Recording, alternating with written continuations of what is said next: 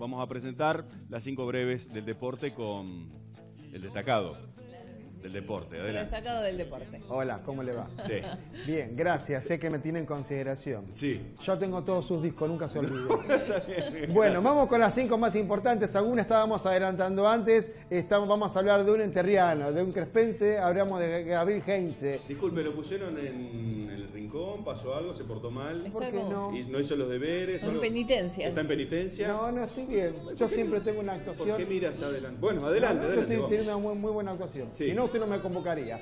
Bueno, vamos a hablar de un hijo este, de nuestra provincia. Estamos hablando del crespense de Gabriel Heinze, eh, nacido futbolísticamente en Rosario. Un detalle que, bueno, uno dice al pasar así nada más. Bueno, de gran trayectoria en Uso de Rosario, París Saint Germain, Real Madrid, Manchester United, selección argentina, se retiró en Uso de Rosario. Bueno, ahora en su fase de director técnico, luego de su paso breve por Godoy Cruz el Tomba, aceptó el desafío de retornar a Argentinos Juniors al bicho colorado a primera división y lo consiguió tempranamente, faltando cuatro fechas. Felicitaciones para Gabriel Heinze. Tenemos un enterriano indirectamente, bueno, metido en primera división nuevamente ahora a través de Argentinos Juniors, él desde el banco de la dirección técnica. ¿Qué le parece? Muy bien. ¿Le Excelente. gustó? ¿Le encantó? Me encantó. Bueno, vamos con la próxima entonces.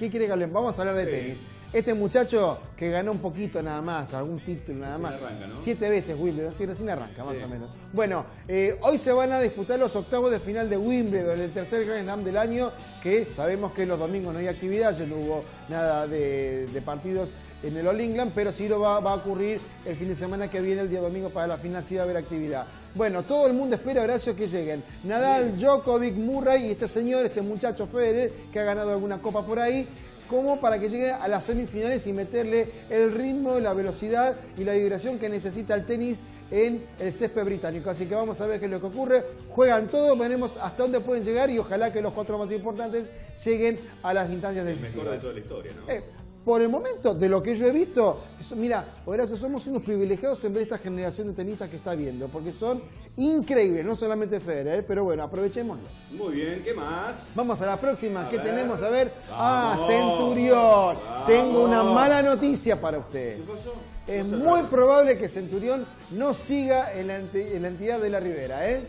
Porque el, eh, Boca se acercó al San Pablo para comprar el 70% del pase del delantero que está jugando por ahora o está en Boca Juniors. Pero el San Pablo no lo quiere dejar que si no es por el 100%, dinero al que Boca no puede acceder. Entonces, en ese caso, va a tener que volver a San Pablo. El 30% del pase es de Racing Club de Avellaneda y el 70% es de San Pablo, pero tiene el 100%. Así que en Racing espera que se haga la compra porque le va a venir, o, o la venta porque le va a venir un dinero de arriba. Pero el San Pablo no lo cede a préstamo, así que retornaría a Brasil y Barros Esqueloto no lo volvería a tener en sus filas entre la polémica por violencia de género que ha tenido, ya lo conocemos todos. Bueno, por el momento, hasta el día de hoy, al menos Centurión va a ser por ahora exjugador de ¿Y Boca Juniors. Benedetto? ¿Cómo? Benedetto. ¿Se No, por ahora sigue? sigue. Por ahora ¿No sigue. está vendido? Bueno. Por ahora.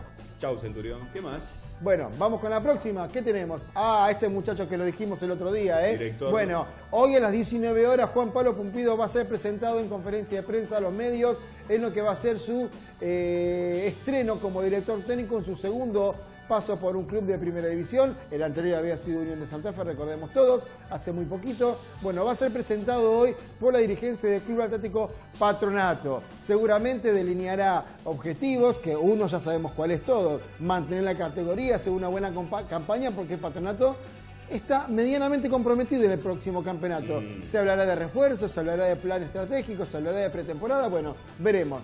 Hoy 19 horas será presentado oficialmente Juan Pablo Pumpido, lo adelantamos el viernes pasado, como nuevo director técnico del Club Atlético Patronato. ¿Le queda la última? Me queda una más, por supuesto. Vamos con la próxima. Vamos a hablar de softball. Porque Argentina ganó a Hong Kong este fin de semana en su tercer partido. Mañana va a jugar a partir de las 18 horas ante Sudáfrica, lugar por donde estuve y no sé si dejó buenos recuerdos. Pero de cualquier manera va a jugar mañana con Sudáfrica y va a ser su cuarta presentación. ¿Ciudad del Cabo, Con- ¿Dónde va? ¿Eh? ¿A dónde va?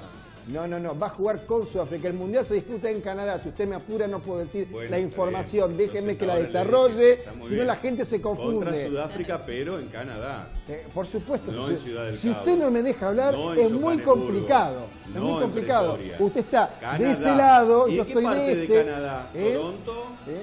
¿En qué parte de Canadá van a hacerlo el Mundial? ¿Toronto? Creo que es Vancouver? Toronto. ¿Eh? creo, creo que es Toronto. Ajá. Creo que es Toronto. Donde sea en Así Vancouver, que Argentina va a lo estar jugando su cuarto. ¿Me deja hablar, por Por favor? favor, jamás no, le usted es conductor. Sí. Yo soy periodista deportivo. conductor, adelante. Bueno, no importa. Sí. Tibio sí, porque hace mucho frío acá. Sí, claro. Bueno, en definitiva, compra un calefactor.